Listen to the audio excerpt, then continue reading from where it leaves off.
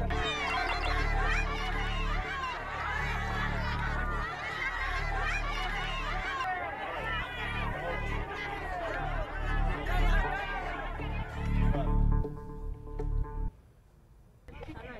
¿Qué le parecen estas imágenes? Nuevamente el pueblo bueno y sabio de Santa Rosa de Lima, en Villagrán, Guanajuato, bloqueó la autopista Celaya-Salamanca.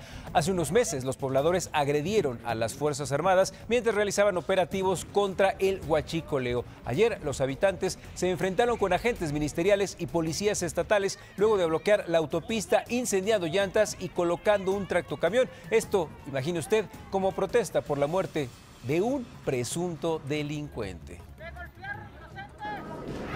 Imagen Noticias con Paco Sea, lunes a viernes 5.50 AM. Participa en Imagen Televisión.